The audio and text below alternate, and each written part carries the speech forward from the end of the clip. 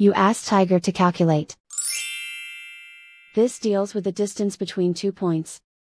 The distance between the two points is the square root of 8957, or 94.641.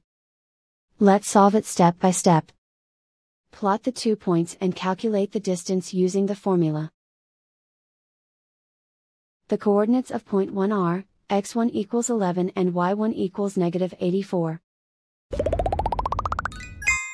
The coordinates of point 2 are, x2 equals negative 15 and y2 equals 7.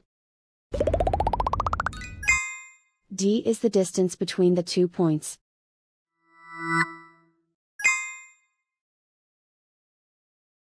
First, take the square root of both sides of the Pythagorean theorem.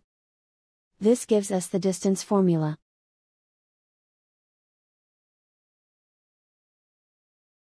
Plug the coordinates of the points into the formula.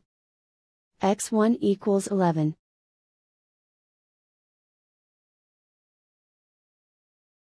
x2 equals negative 15.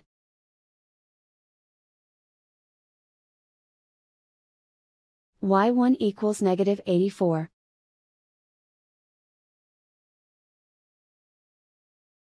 y2 equals 7.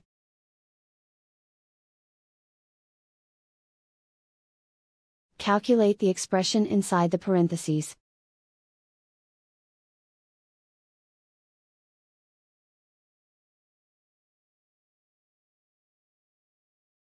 Simplify numbers raised to exponents.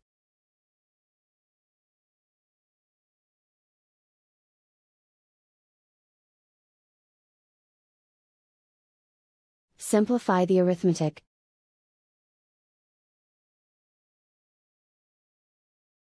And so the distance between the two points is the square root of 8957, or 94.641.